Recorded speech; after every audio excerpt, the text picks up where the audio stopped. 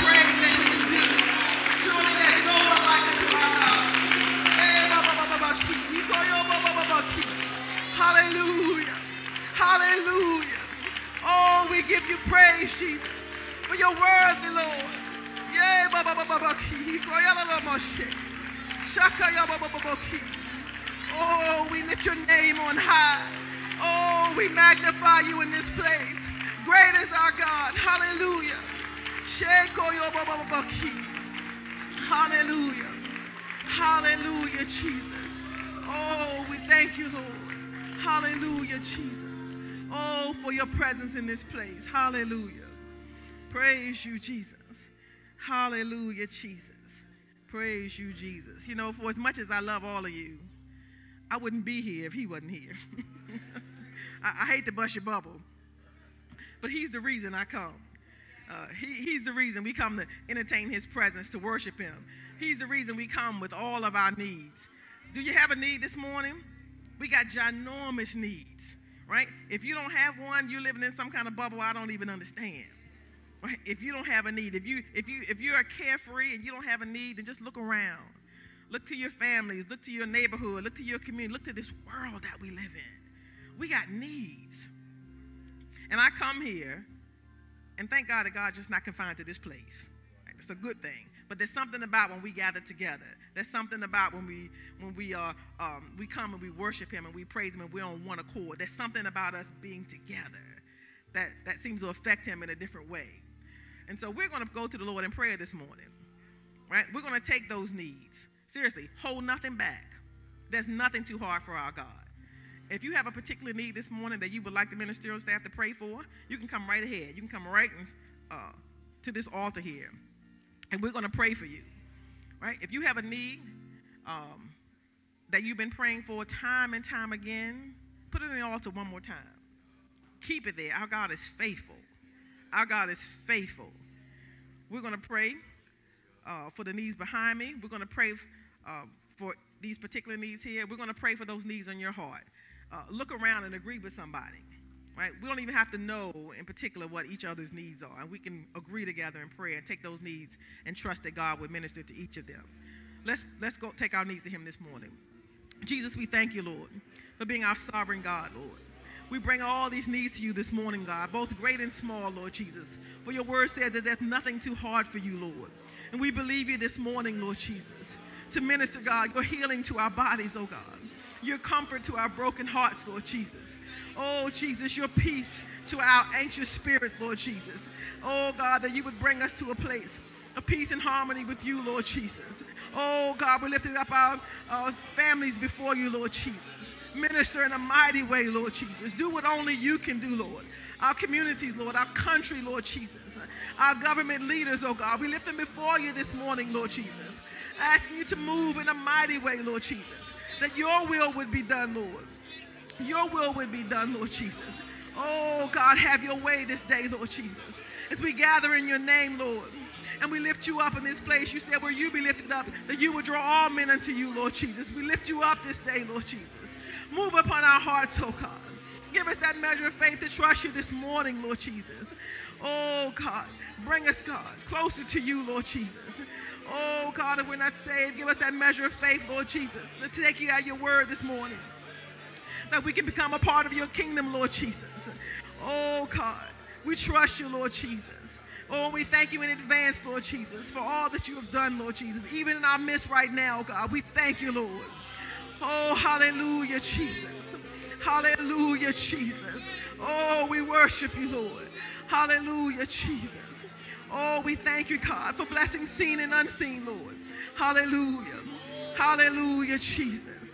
Oh, we thank you, Lord. Hallelujah, Jesus. Hallelujah. Oh, we believe you, Lord. Can we put our hands together? Can we can we thank him, God, for moving? Can we trust him that he's done a work this morning? Hallelujah, Jesus. God, we trust you, Lord. Hallelujah. Hallelujah, Jesus. We give you glory. Hallelujah. Hallelujah, Jesus. Oh, bless the name of the Lord. Hallelujah. Hallelujah, Jesus. Hallelujah, Jesus. Thank you, God. Thank you, Lord Jesus. Hallelujah, Jesus. Praise your name. Praise you, Jesus. Hallelujah. Hallelujah. And while you're still standing, Why don't you just take a few moments to get out of your pews and greet each other in the name of the Lord this morning?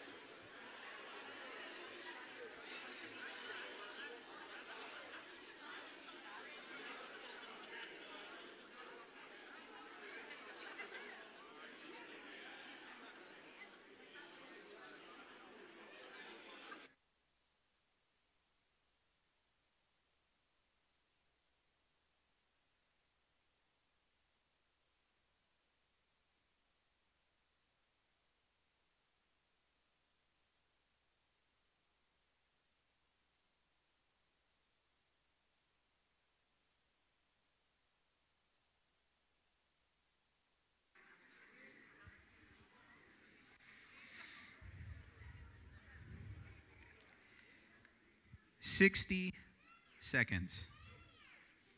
Three thousand six hundred seconds in an hour. Eighty-six thousand four hundred seconds in a day. Six hundred four thousand eight hundred seconds in a week. 31,536,000 seconds in a year. Tick, tick, tick. How many seconds do we get? No one knows. But we do know our time is limited.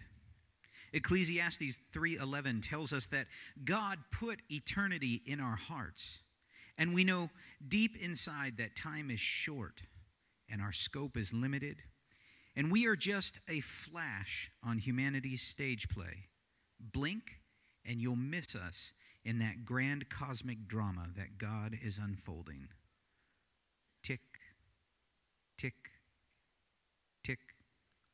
From the moment we draw our first breath, that countdown starts. In our youth, we count up, longing to be bigger and older, an adult in charge. But something then happens in adulthood. At some point, we realize that the clock is really counting down. And then we hide our age. And each birthday is a reminder that another 31,536,000 seconds are gone. Tick, tick, tick. Time marches forward, and we can't stop it. Like sand draining through an hourglass, or water pouring through our fingers, the seconds slip past us, never to return. Man's days are numbered, and so we fear it. We can look backwards and see what's happened, but looking forward, that's a mystery. We don't know when the end is coming, and we can't control it, and so we curse it in the dark. Tick, tick, tick. And so most of us attack it. We burn through it, bouncing from one experience to the next, trying to accomplish as much as we possibly can. After all, YOLO, you only live once. Others then try to master it. We divide it into bite sized chunks and we organize it and we attempt to then micromanage it. And we pretend that our daily planner has somehow collared this feral animal that we can't predict. But time bows to no one, and our plans never go the way we expect. And then we run out of seconds and our time stops. Hebrews 9:27 and it is appointed unto men to once to die but after this the judgment. Tick tick stop. Rewind the clock. Imagine with me that we could somehow wrestle time to the ground and then pin it down. What if you could pause that stopwatch and halt the march of time? Then what? Imagine you're immortal. All of you. Your temper, your temptation, your failure, your loss, your hurt, all of your disappointments. Do you want to live with that forever? Tick, tick, tick. Time is a gift. Time is a mercy from our Creator who will not leave us broken. Yes, time is that constant reminder that our end is drawing near, but the end of what? If we are redeemed, then time is not a chain that is dragging us towards that monster in the dark, that many toothed, always hungry, never satisfied beast of death. Time is not a curse. Sin and death are the curse. Time is God's tool that He uses to prod us towards Him. And so, if we give Him all our broken pieces and we follow His commands, then He will walk with us in that march of time. And when it runs out, and it will run out for all of us, then He will redeem us. Tick, tick, tick. What are you doing with your time? Does it scare you? It doesn't have to.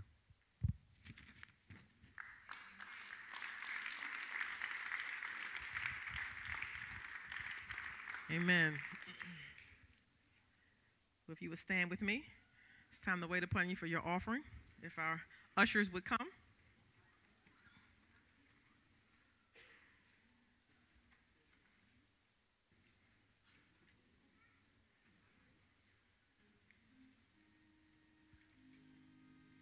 Let's ask the Lord to bless this offering. Jesus, we thank you, Lord, for the privilege of being able to give into your kingdom, God, to be a part of this work uh, that you're doing here in this earth, oh God. We ask that you would bless this offering, Father, and use it, Lord, according to your will. In Jesus' name. Amen.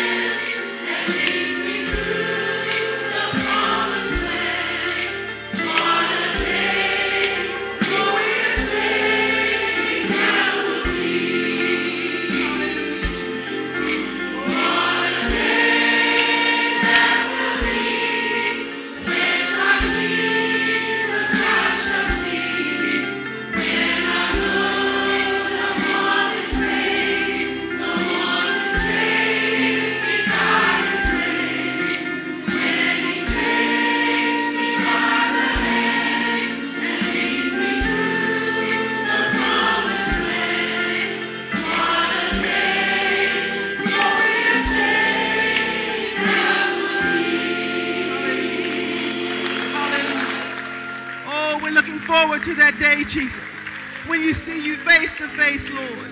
Hallelujah. Hallelujah. Praise you, Jesus. Hallelujah.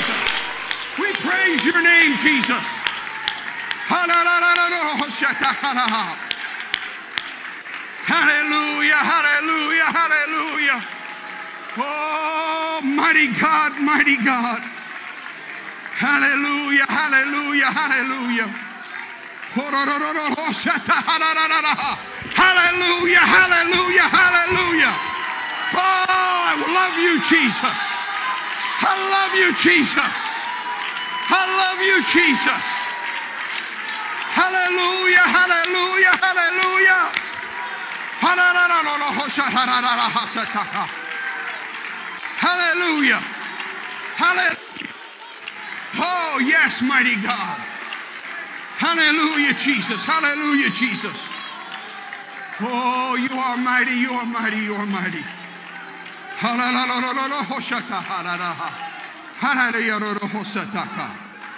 Hallelujah, hallelujah, hallelujah. Hallelujah, hallelujah, hallelujah. Hallelujah, hallelujah, hallelujah. I praise your name. I praise your name. I praise your name. I praise your name, Jesus. I praise your name, Jesus. Hallelujah, hallelujah, hallelujah. Hallelujah, hallelujah. Hallelujah, Jesus.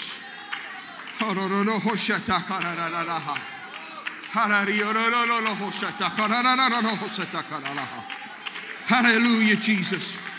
Hallelujah, Jesus.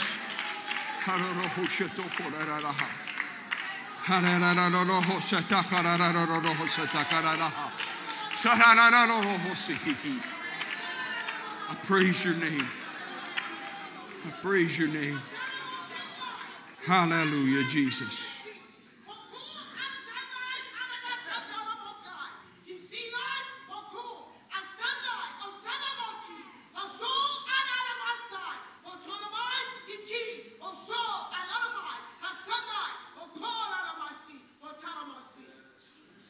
Promised you that I would never leave you nor forsake you, that I would come to you. And I have come to you in my spirit. That is what you feel in this place. Some of you are filled with my spirit, others of you, you can have it this morning, today, here. I am willing to come and make my abode with you, to live inside of you. I am a great God. I am the only God. Beside me, there is no God. And I have come to save you. Time is ticking, but it is ticking down to redemption. And I love you this morning, and I want to take you to a better place if you will give me your heart, your mind, your soul, and your strength, saith the Lord. Hallelujah. Hallelujah. Hallelujah. Hallelujah. Hallelujah. Hallelujah, Jesus. Hallelujah. Hallelujah. Hallelujah. Praise the name of Jesus. Praise the name of Jesus. Praise God. Praise God. What a beautiful presence of the Lord is in this place. Thank you for contributing your worship into this place. Our worship does not bring him here, it simply turns our attention away from that which has distracted us from his always present presence.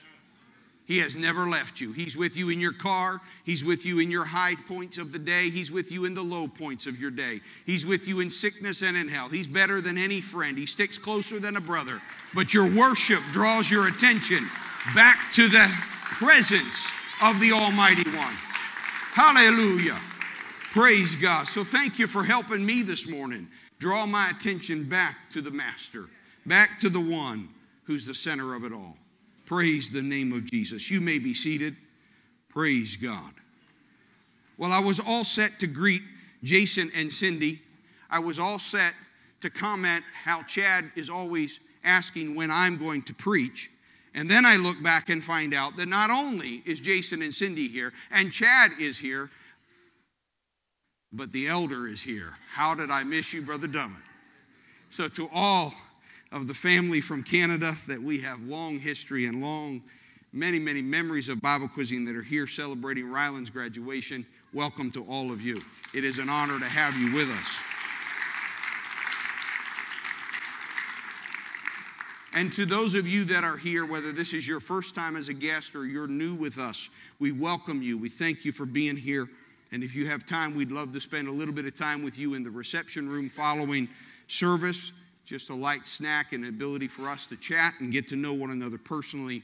We welcome you. We are so glad that you're here. Thank you for spending some of your counting down seconds with us. Amen, amen. Praise God.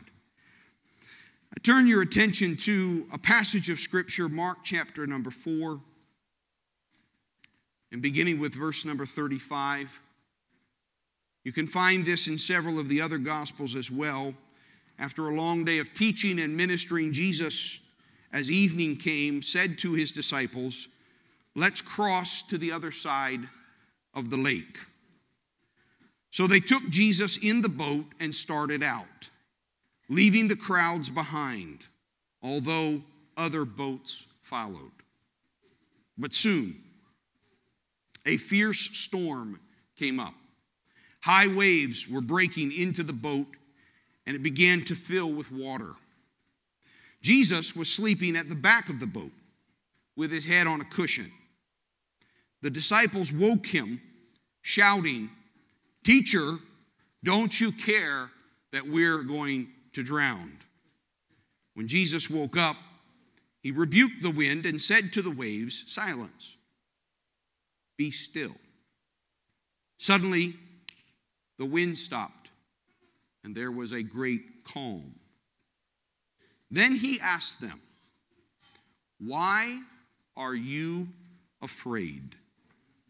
Do you still have no faith? And this morning, I want to preach to you two questions. Two questions. Let me give you a little context about the Sea of Galilee and storms.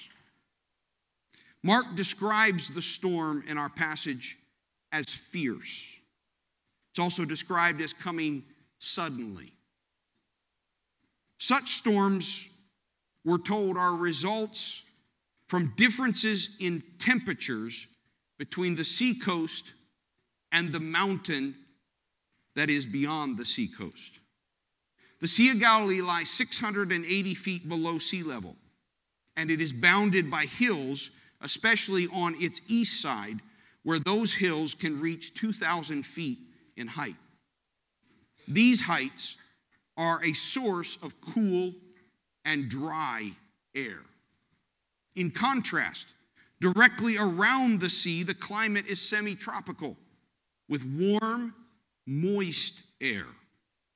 This large difference in height between the surrounding land and the sea causes large temperature and pressure changes. And the results of those changes is that strong winds can drop to the sea, funneling through the hills. The Sea of Galilee is small, relatively speaking, and these winds, because of its size, can descend directly to the center of the lake with violent results. When the contrasting air masses meet, the cool and dry and the warm and moist, when they meet, a storm can arise quickly and without warning. Small boats caught out on the sea are then immediately in danger. The Sea of Galilee is further complicated by the fact that it's relatively shallow, just 200 feet at its greatest depth. And a shallow lake is whipped up by wind more rapidly than deep water, where energy is more readily absorbed. An example that we may know is Lake Erie here in the United States. It's similar to the Sea of Galilee. Even though it is 100 times larger, it has the same depth of 200 feet maximum, the shallowest of the Great Lakes. And Lake Erie is especially well known for these storms that come from this moody member of the Great Lake system because the west winds easily stir up the shallow waters, producing violent waves. And when this happens, even the largest fishing boats, like on the Sea of Galilee, are put at risk. This is the context.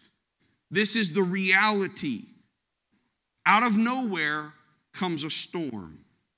The first thing I want us to recognize in this story is that Jesus directed the crossing. It is important for us to recognize this. This was not Peter's idea. This was not James or John's idea. Jesus, after a long day of ministry, said, Let's go across. And I'm sure he had a purpose on the other side, but it was not just that purpose. Some questions that I ask, and forgive me, maybe you don't ask these, but I do. But was the storm just a coincidence to Jesus' command? Did Jesus himself know the storm was coming? And the problem with answering these questions is you and I both know that in Jesus we have God who knows everything, and we have God as a human who, in that way, took upon himself limitation. Good morning, Logan. I did not see you either. Is there anybody else I missed? I didn't say Candace either, so let me say hello to Candace. And I don't have any of the kids. And Asher, I'm not greeting you. I see you every week. Love you, buddy. He just gave me a dirty look, but mom didn't see it, so we're good. So I don't know. Was the God hat on? Was the human hat on? And we know that that's even wrong language. Theologically speaking, he didn't have two hats, he was one being. And so that's what precipitates in my mind these kinds of questions that really are unanswerable. Was it just coincidental or did Jesus know it was coming? Regardless of the answers to these questions, the third one is important to us. Whether it was just life happening or whether Jesus was engineering this collision, did it matter to Jesus? And I think the story answers that question. He was sleeping. Let me tell you, it's not a good thing when we're told that we're sleeping on the job. That means we're being delinquent in our duties. That means we're not being present where we're supposed to be. Jesus was clearly not concerned whether he just simply didn't know it was coming in specific or whether he had engineered this collision, this crisis that was about to happen. Either way, Jesus was sleeping. And yes, this is a testimony to his humanity and to his limitations and to what happens after a long day. But it also underlines something else. It underlines that Jesus, though the disciples were having trouble with this, as we will see, Jesus was fully in control. The reason he didn't sit on that boat and worry is there going to be a wind that's going to kick up and funnel down through those hills and strike the center of the lake and pull those waters into turbulence like that? He didn't worry about it.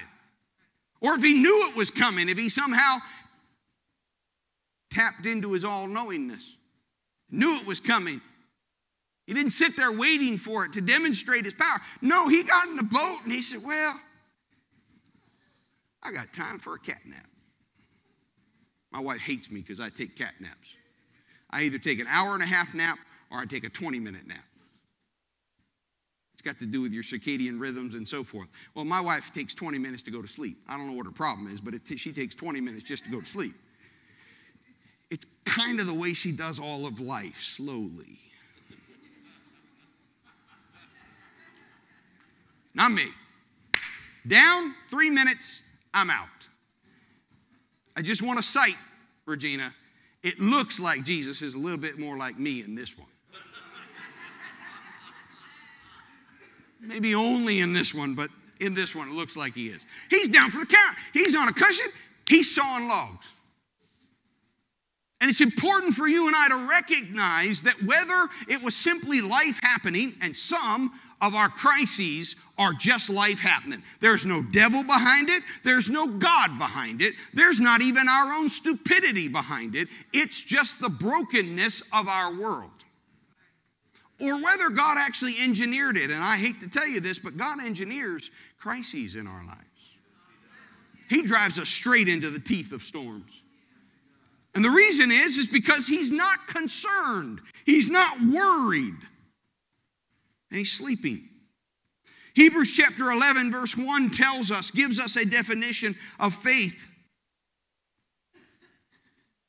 Faith shows the reality of what we hope for, it is the evidence of things we cannot see.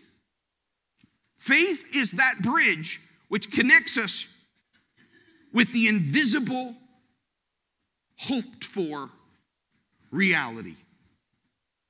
You can't see it, and all you can do is hope for it. Then verse 6 tells us of this same chapter in Hebrews that it's impossible to please God without this bridge, without this faith. Anyone who wants to come to Him must believe that God exists and that He rewards those who sincerely seek Him. Two things.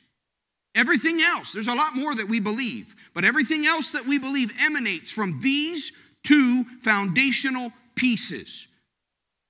If we are going to please God, we're going to have to believe that He exists. And we're going to have to believe that He rewards those who sincerely seek Him. You see, in this storm, God knows who He is and has no trouble believing in Himself. Jesus was not having a crisis of identity. When he got onto that boat, he wasn't worried like Regina would be or I would be about the water and do I have my fins and do I have my snorkel gear so I can breathe and what's going to happen? Is this boat seaworthy and, and, and has everything been checked out? Now, Jesus is not worried because he has no problem. God, whether in the flesh or in the spirit, God knows who he is and he has no trouble believing in himself.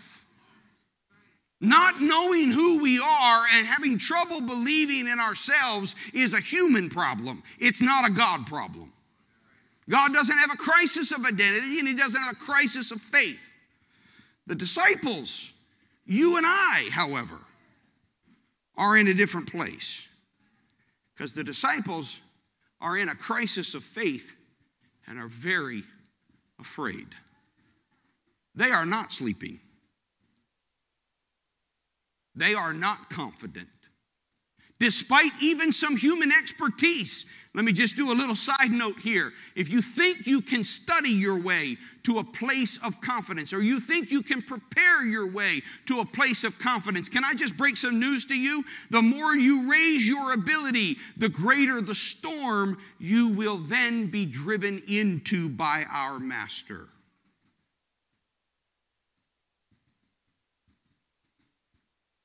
You cannot prepare your way out of this crisis of faith. You cannot prepare your way out of this crisis.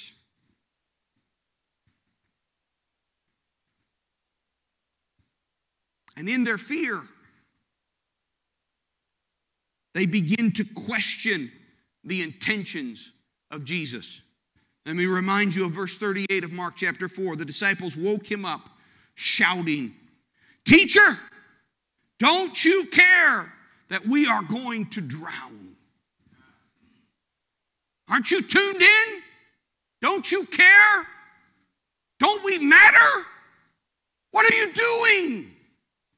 And I don't know about you, but I find myself at times doing the exact same thing because circumstances of faith, things hoped for that cannot yet be seen, will always test our trust regarding whether God really rewards those who seek Him.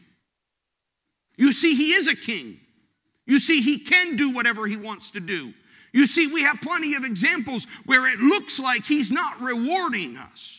And yet, the scripture, right alongside all of those testimonies of faithfulness, still says if you're going to please God, you're going to have to have faith. You're going to have to believe. And there's two bedrock beliefs. Number one, He is. Number two, He rewards those who seek Him. Even when the circumstances don't look like it, He still rewards those who seek Him. Even when the problems pile up and it looks like He's abandoned us, He still rewards those who seek Him. Even when death takes our life, we still go to that death believing that He rewards those who seek Him. Without this, you cannot please God.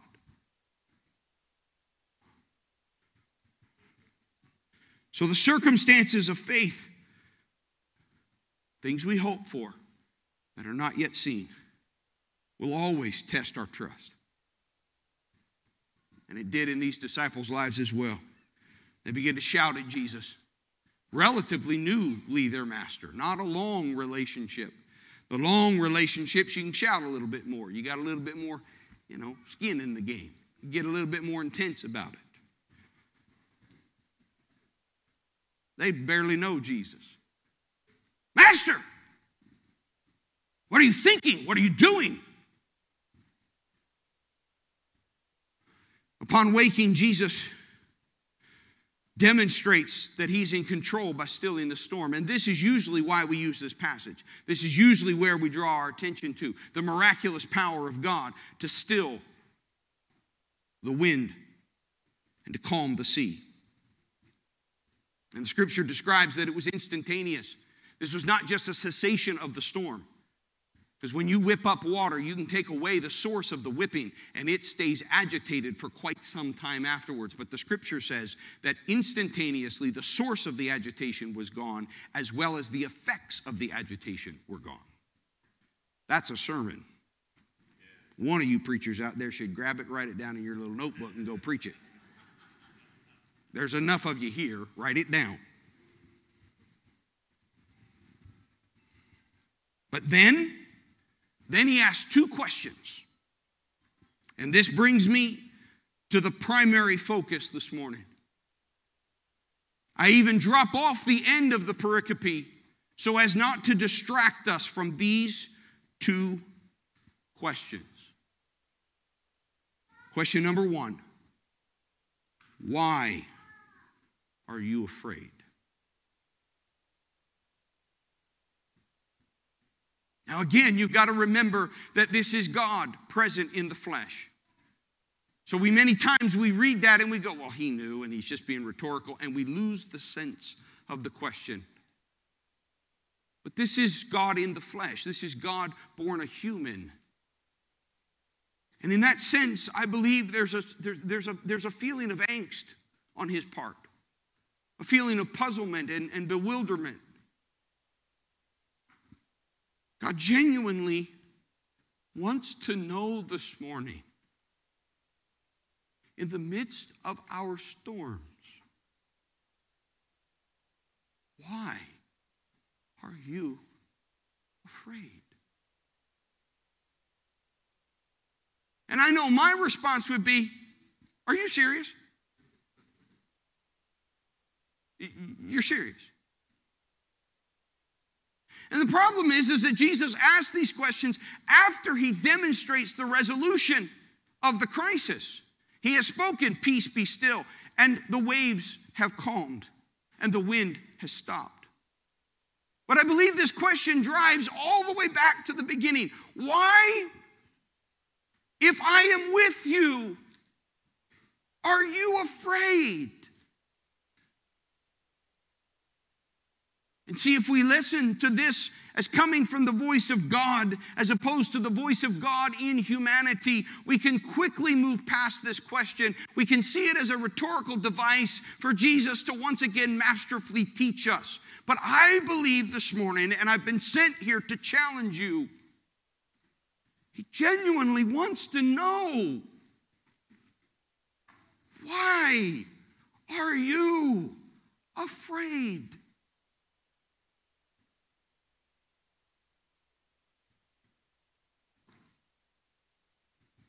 The second question drives to the core Do you still have no faith?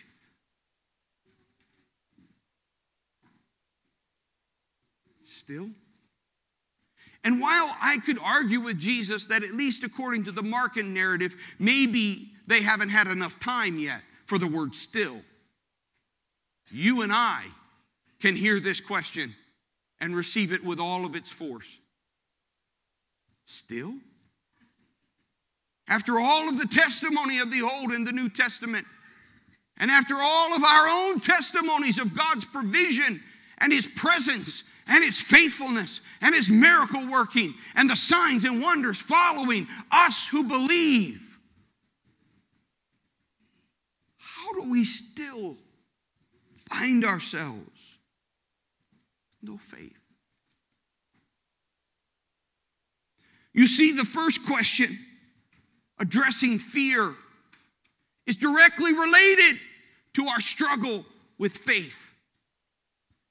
If we really believe there is a God who exists, and if in that moment we believe that He rewards those who diligently seek Him, ladies and gentlemen, we may go through trials and troubles. We may go through suffering, but there is absolutely no need to fear. This is why the scriptures say God has not given you a spirit of fear, but of love and of power and of a sound mind. There is no need for fear. There is no need for fear of loss of money. There is no need for fear of loss of livelihood. There is no need for fear of loss of life or limb because our God rewards those who sincerely, diligently seek Him. When we are afraid, it is because we are struggling to believe.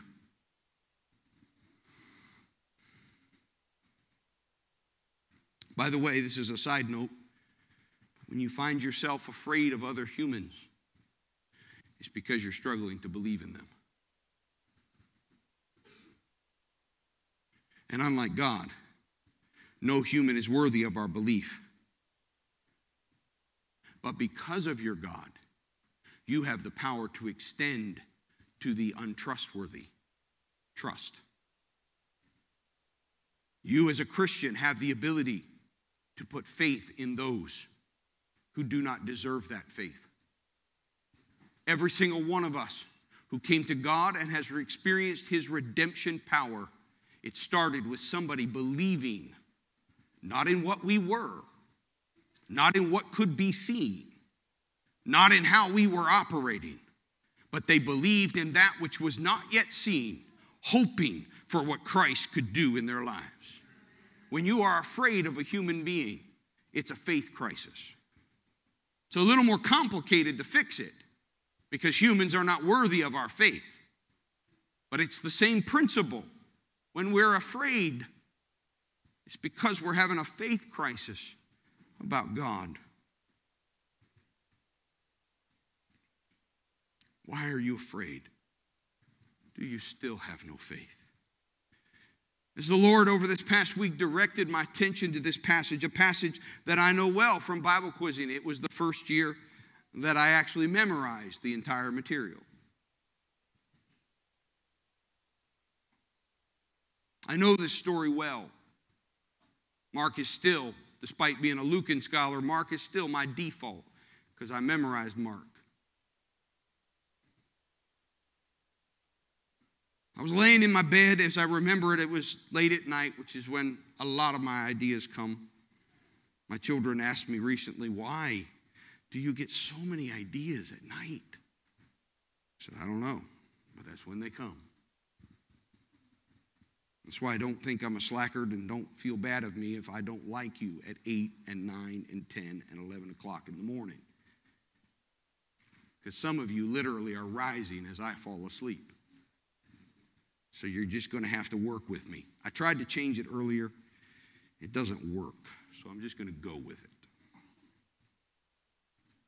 I lay there in my bed, my wife most likely asleep beside me, and I heard the voice of my father. You see, I'm a father. My wife with me is, is their mother, and we love our children. We're going to love the day that they are adults and can run their own lives. But we have, for the last 20 years, every major decision has been made revolving around the life of my five children. I have nothing but good planned for them. I have nothing but the best for them.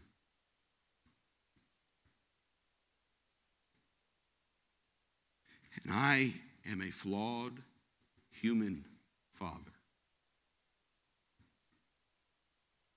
And I just sense in the humanity of God made flesh, in these two questions, an emotional articulation. Why are you afraid? Do you not know who I am? Do you not understand that everything, even in its broken state, came from me?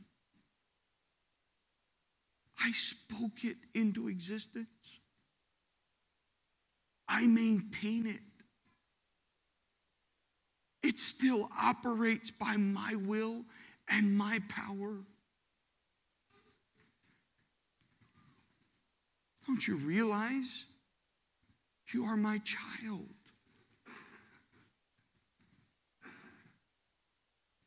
Jesus looking at these disciples, these disciples that he, through faith, was going to leave the gospel in the hands of. That's a scary sight.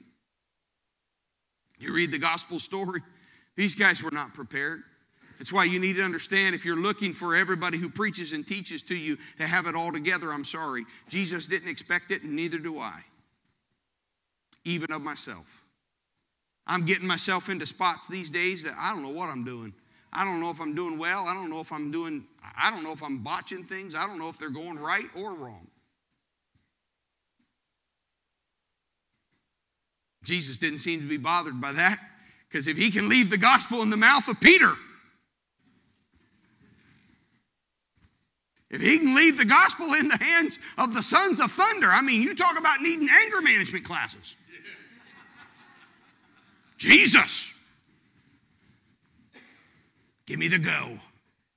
I'll bring a missile down on them. Fire from heaven. Burn them up. No, John, I came to save them, not burn them.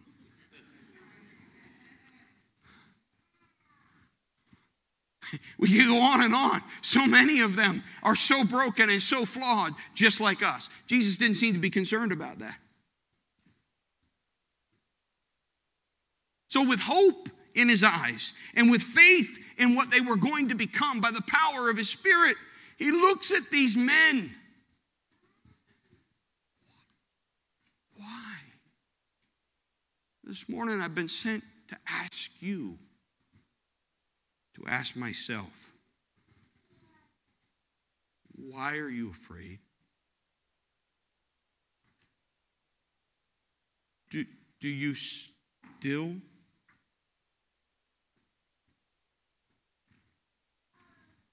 They just stole my thunder.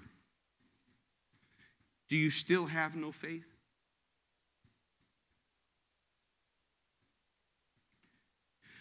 The musicians would come, I'm closing. I'm arguing you, to you this morning that it could be said that God is genuinely perplexed by our fear and deeply desires for us to believe in Him. Like a parent who conceives and births and feeds and nurtures and grows and equips a child for life as an adult, our Creator our father and our mother we, we, that we've been learning about in our small groups loves us with an unending love. His mercies are new every single morning. And He desires for us to love Him back and to trust Him. He certainly knows your struggles, and He certainly knows the source of your struggles. But I'm this morning been sent to challenge you as in the late night I was challenged by his presence. That he is also perplexed with why we do not, in those moments of crisis, choose to believe Him. You can't control what you feel. But God has given us the power of choice. Humans are amazing. We choose to run into burning buildings to save others. We choose to throw our bodies in harm's way in order to save someone that we believe in protecting. Mothers and fathers spend inordinate amounts of time and money on ungrateful, bratty kids. Leeches who suck the very life out of you in the hope of something not yet seen that they will grow to adulthood and change our world. We choose that. Don't tell me you feel that. Yeah, I know that one moment right after the baby's born, and, and no, but that moment goes out the window really, really, really fast. And I love my children desperately, but they're leeches. It's never enough. And I choose to believe that someday it's choice. It's not emotion, it's not reality, it's choice. And God is asking us today do you not remember I made this world? Do you not remember that I made you? You are my image and you are my likeness. Do you really think I am not in control? Do you not believe that I will provide a way of escape in a place of harm and jeopardy? You are my child. Will you not choose to believe that I am? Will you not choose to believe that I reward those who seek me? The perplexed voice of our Creator is calling to you and to me today. Why are you afraid? Do you still have no faith? I am with you. Even when silent, I am with you. When it feels like I am sleeping, I am still with you. Do not be afraid. Believe. Altar's open and I'm done. Would you come? Would you reach out to him right now and let him take this where it needs to go? Would you give him the opportunity to bring this home to your particular circumstance? And Newark UPC collectively, we've got to hear this voice of God for us. Why are you afraid? Do you still not believe me? Jesus, I love you. Hallelujah, hallelujah. I worship you, Lord. Oh, mighty God, mighty God.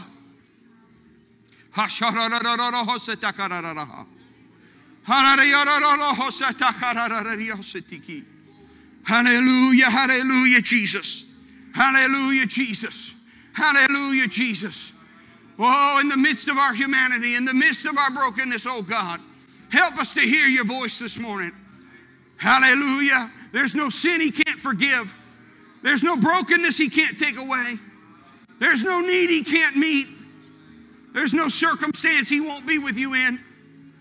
Hallelujah, hallelujah, hallelujah. Oh, wonderful God, I worship you. Wonderful God, I praise your name, Lord.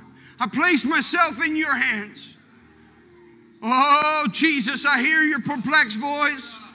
And I recommit myself to once again choose to believe you and abide in your peace. A peace that passeth all understanding, that keeps our hearts and our minds in you.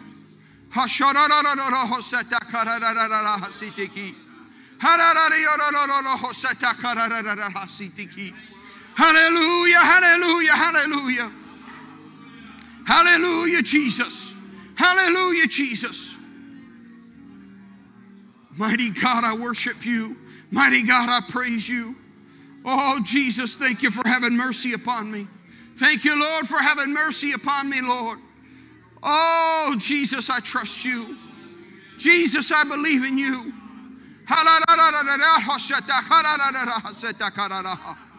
Oh, Jesus, you've got to lead and guide the leadership.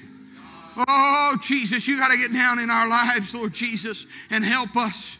God, there's so many things that we've messed up. You're still with us, Lord. God, there's so many areas that are broken, but you're still with us, God. You will be with us always. You will not abandon us. You will not leave us. God, I want your will. Your will at any cost. Your will at any cost, Jesus. Whatever it takes, Lord Jesus. God, even if I'm scared, Lord, I choose to believe you. Even if I'm overwhelmed, Lord, I still choose to believe you. Even if I don't understand, I still choose to believe you. You are, and you reward those who seek you diligently.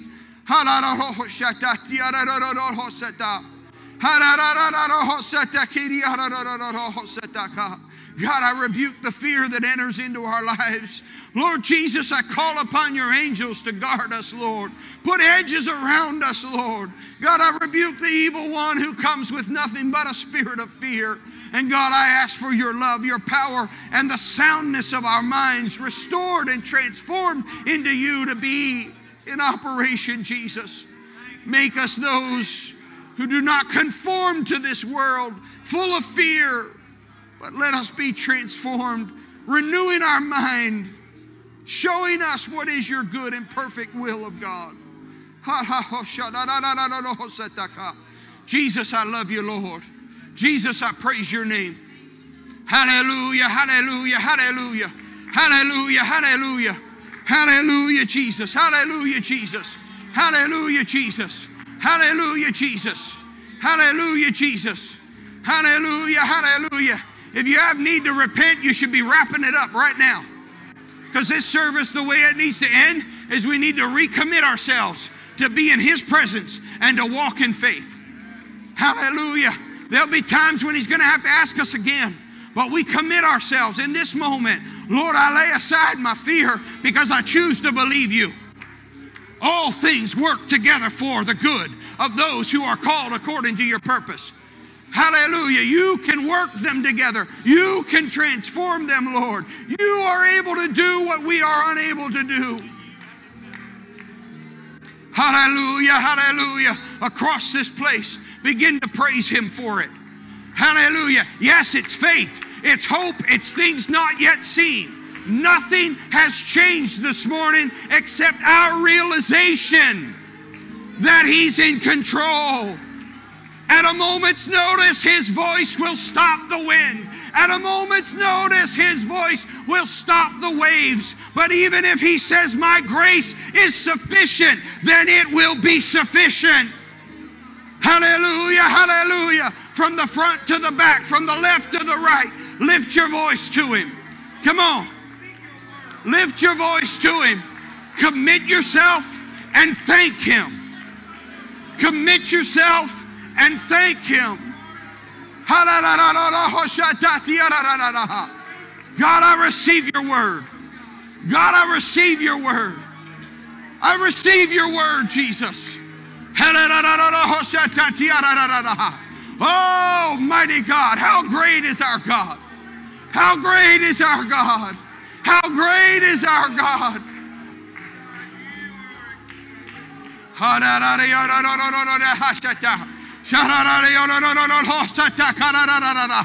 Hallelujah, hallelujah, hallelujah. There's a groundswell of His Spirit. If you'll worship right now, it's going to come in underneath of you. Hallelujah, hallelujah. You got to press through your doubts right now. You got to press through your flesh right now. But if you'll do that right now, there's a spirit movement right now. Come on, church. Please trust me. I'm not trying to rah rah you. I'm telling you, you need to lift your voice to Him right now. You need to praise Him right now. You need to commit yourself to what He's promised. Hallelujah, hallelujah, hallelujah. Yes, I believe you, Jesus. God, in this moment, I dispel fear because I believe you.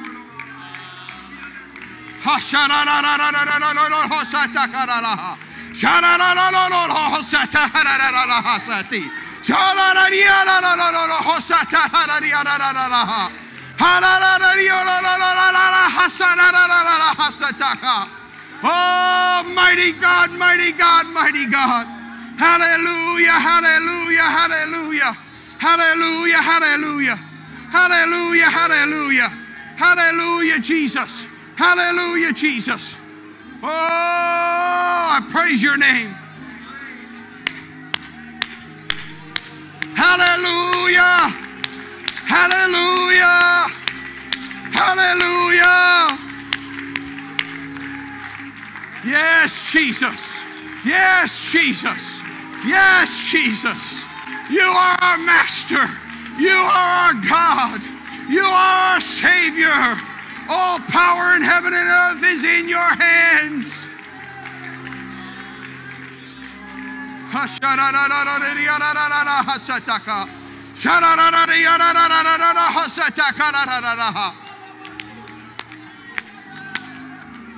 Hallelujah. Hallelujah.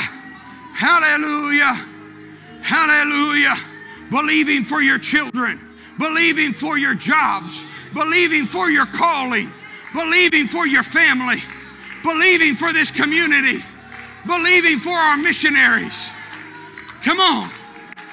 I choose to believe you. You are, and you reward. You are, and you reward.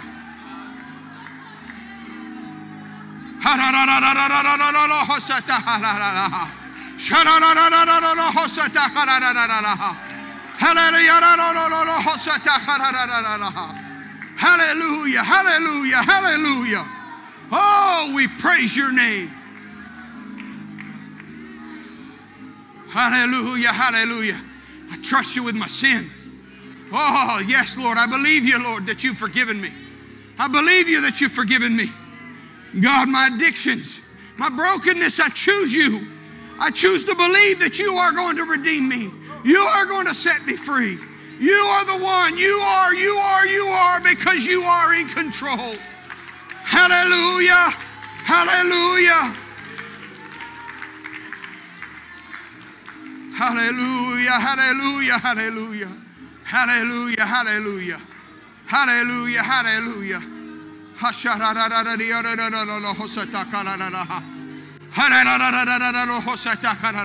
Give us the confidence, Lord, like Peter, to step out on those waters when you call us. Hallelujah, hallelujah. God, give us the confidence that comes from believing you, Lord Jesus. Hallelujah, hallelujah, hallelujah. Hallelujah, hallelujah. Hallelujah. All across this congregation, would you reach out and grab somebody's hand? Hallelujah, hallelujah. Hallelujah. Come on. At least one hand. I don't care if you create a huge chain, but somebody grab your hand. If there's nobody near you, get up and move. Please go find somebody and grab a hold of their hand. And I want you to pray for one another that your faith would be strengthened. Hallelujah. There's scripture for that. I can't remember the passage or the particulars, but would you pray right now for that person who you are touching that their faith would be strengthened? Jesus, in your name. Jesus, in your name. Lord, help our, help our unbelief, Lord. Lord, we believe, but help, help, help our unbelief.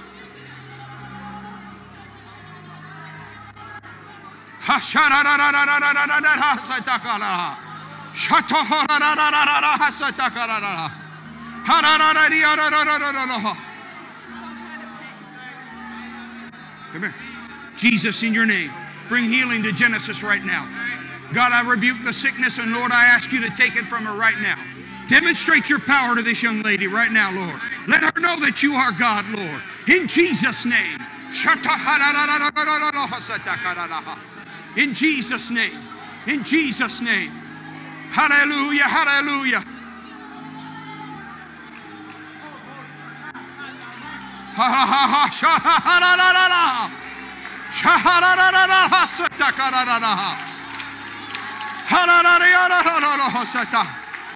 Hallelujah, hallelujah, hallelujah. If you're here and you've never heard anything like this, all you got to do is let your tongue go loose. Talk to Jesus, and He'll take your tongue and your lips, and you'll speak a language you don't understand. That's the Spirit of the Almighty God. Come to live not just with you, but in you. You don't need any coaching, you don't need anybody to touch you. You just talk to Him.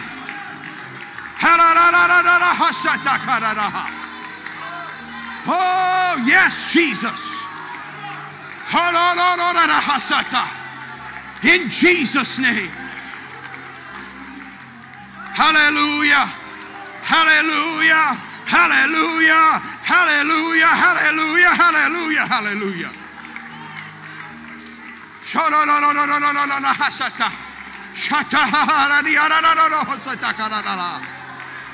Hallelujah, Jesus.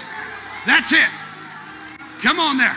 You feel that funny huh, thing on your tongue and your lips. Let it come out. It'll sound like baby gibberish. It's all right. It's called the Spirit of God. You will speak in another language as God gives you the utterance. Believe Him. It's a gift. You can have it right now. I speak the fear, it's rejected. Be gone, spirits. Hallelujah. You can return another day and we'll reject you then. But today you're gone. You are dispelled. You are rejected. Leave this place. Hallelujah. In the power of the name of Jesus, we rebuke it. You are dispensed with. You are gone. You have no authority in this place. Where the Spirit of the Lord is, there is freedom. There is liberty. We believe you, Jesus. The questions of doubt I rebuke in your name. I choose to believe, Jesus. I choose to believe my master. I choose to believe my master.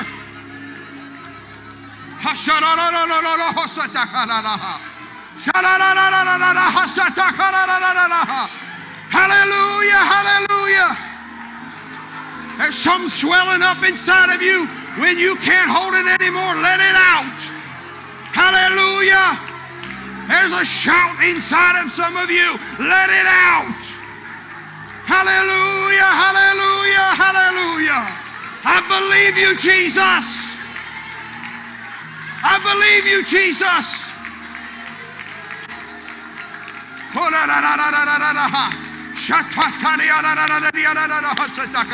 We are in your hands, Almighty God. You are good. You are perfect. You do all things well. Even when sickness comes, I believe in you. Even when death comes, I die believing in you. Even when, Lord, disillusionment comes, I believe in you.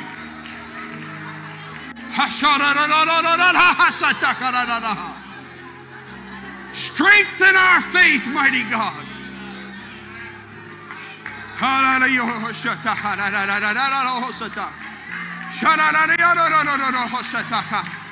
hallelujah, hallelujah. Hallelujah. Oh, glory. Glory to the name of Jesus. Glory to the name of Jesus.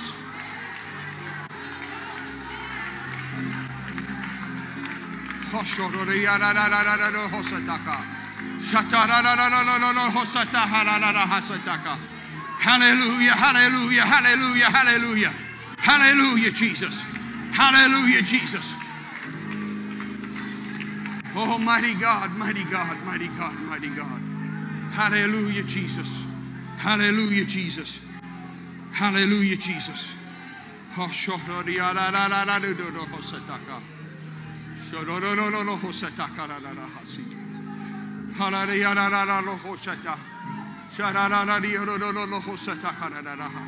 Hallelujah, hallelujah, hallelujah. Hallelujah, Jesus. Hallelujah, Jesus. Hallelujah, Jesus. Hallelujah, Jesus. Hallelujah, Jesus. Hallelujah, Jesus. Pastoral team, I'm going to need your help right now. Don't stop worshiping. But those of you that have a sickness in your body, you might have even come down during prayer. But in this atmosphere of faith, where fear has been abated by the power of the word and by a spirit, would you come to this altar again? Would you come to this altar again? And they're going to lay hands on you and pray. And we're going to ask God for healing. If you're not, step back and you're in the altar. Just step back towards the back of the pews. If you're coming for that prayer, step to the front. Hallelujah, hallelujah, hallelujah. We're not juicing God. We're not manipulating God. We're not controlling Him. It is simply faith. That is all we're asking for. Jesus, in your name. Jesus, in your name. God, I believe, Lord. In Jesus' name. In Jesus' name. Hallelujah, hallelujah. In Jesus' name. God, in this atmosphere of belief, God, meet our need right now in Jesus' name.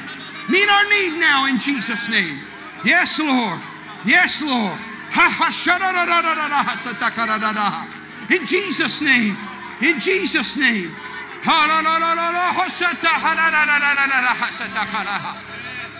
Almighty God, do your work in the midst of your people. Do your work in the midst of your people. Jesus, in your name.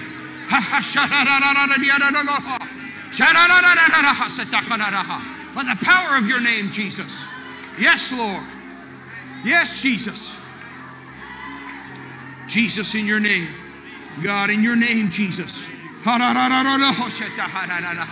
Meet the needs of your people right now in Jesus' name. God, I believe you and I trust you, Lord. Hallelujah, hallelujah. Hallelujah, Jesus. Hallelujah, Jesus. Hallelujah, Jesus. Hallelujah, Jesus. God, in your name, Lord. God, the faith of a child. Yes, Jesus, the faith of a child. Yes, Jesus, in your name. Hallelujah, hallelujah. Jesus, in your name. God, by your anointing, Lord. By your power, Jesus. Hallelujah, hallelujah, hallelujah. Hallelujah, hallelujah, hallelujah. Hallelujah, hallelujah, hallelujah. Hallelujah, hallelujah. Come on now. This is not about not trusting God. This is about having faith in His Word. These signs shall follow them that believe. We trust you, Jesus. Hallelujah, hallelujah, hallelujah. Yes, Jesus, in your name. Yes, Jesus, in your name. God, we believe you and we trust you, Lord.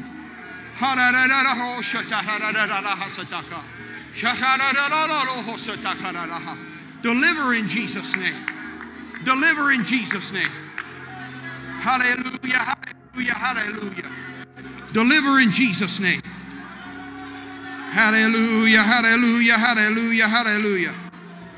Hallelujah, hallelujah, hallelujah. Hallelujah, hallelujah, Jesus. Hallelujah, hallelujah. Anything you need here today, you can step out in faith right now and call for it. Hallelujah, Jesus. Hallelujah, Jesus. Hallelujah, Jesus. Hallelujah, Jesus. Hallelujah, Jesus. Oh, Lord. God, I speak deliverance to our guilt. Hallelujah. We choose to believe you. We choose to believe you. We choose to believe you. Hallelujah, hallelujah, hallelujah, hallelujah.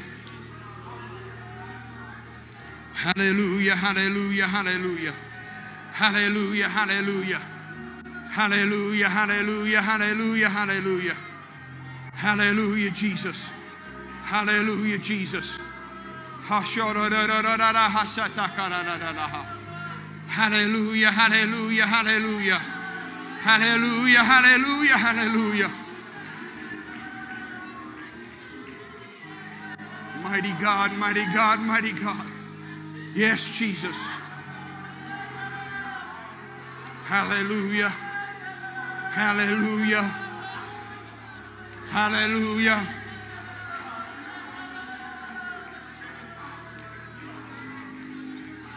Hallelujah, hallelujah, hallelujah.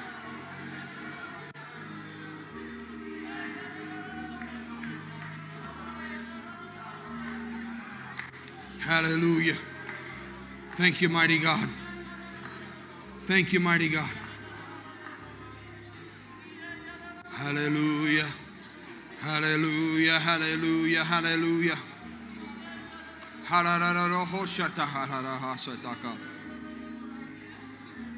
Hallelujah, Jesus. Hallelujah, Jesus. Hallelujah, Jesus. Hallelujah, Jesus.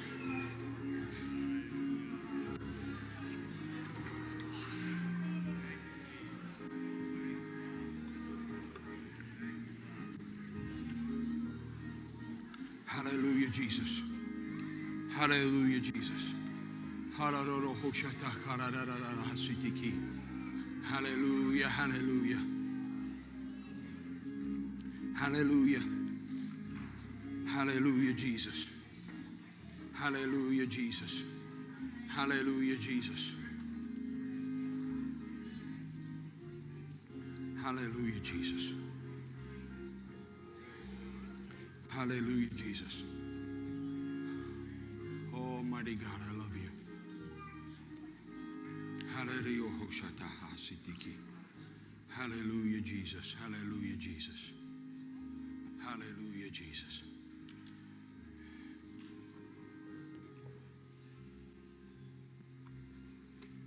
Another match. This is the peace. Don't rush out of this. I know we as Pentecostals aren't so comfortable with this. This is the peace that passeth all understanding, that keeps your heart and your mind in Christ Jesus. This is the peace. Spirit hasn't left us, He's still right here. He's still right here.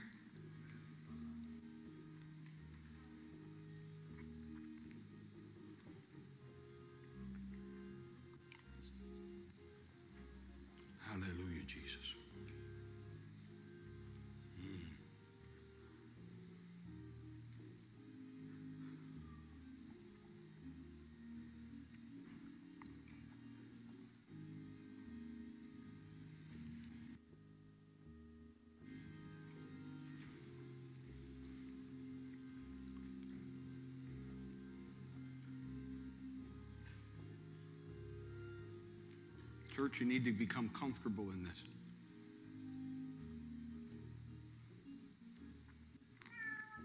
I'm not comfortable in it all the time because I like to be in control.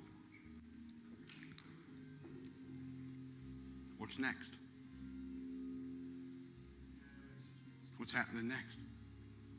Guy going, don't worry about it. I got it. What, what about this?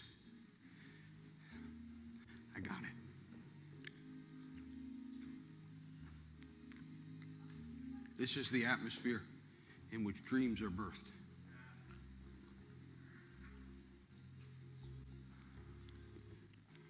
Dreams and visions come from God. But they never happen until you have faith.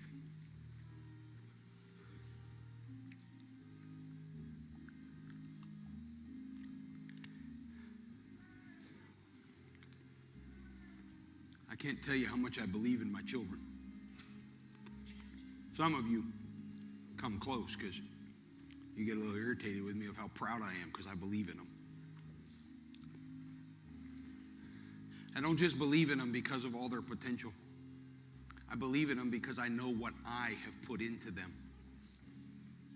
Now, I understand as a human that can go to pride, but please transfer that over to God.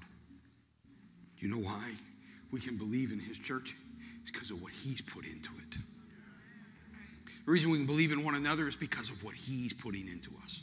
The reason you can believe in yourself, despite all that is wrong with you and all the brokenness and all of the faults, is because He is putting it into you.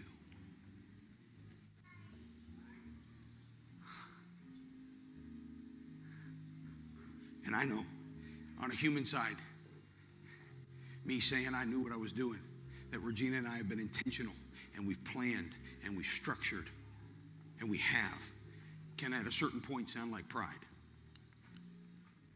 Deal with it. We still did it. How much more our Heavenly Father, who has seen us from the moment of conception, He's known what broke you in sin. He's known your faults and your failings. But where sin doth abound, somebody needs to hear me this morning. Where sin, your sin, doth abound, grace doth much more abound. Yes, you're broke. Yes, you're flawed. Yes, you got problems. But greater is He that is in you. Greater is He that is in you.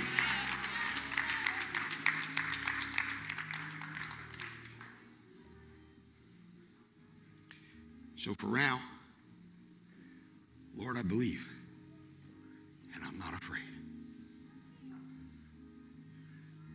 When it comes again, I'll try to remember, Lord. And when I hear your perplexed and maybe even somewhat tired voice saying, Steve, how many times and ways do I have to tell you? I'll choose again, despite the circumstances, despite the lack of evidence, despite things I'm hoping for but cannot yet see. I will choose to believe my master and dispel. in Jesus' name. Hallelujah, hallelujah. Would you one more time just acknowledge all that He's done in us today? Hallelujah, hallelujah, hallelujah, hallelujah, hallelujah, hallelujah. Hallelujah, hallelujah, hallelujah. Hallelujah. hallelujah. Hallelujah. Hallelujah. Praise the name of Jesus. Praise the name of Jesus. Hallelujah. Hallelujah. Hallelujah. Hallelujah. Praise God. Hallelujah.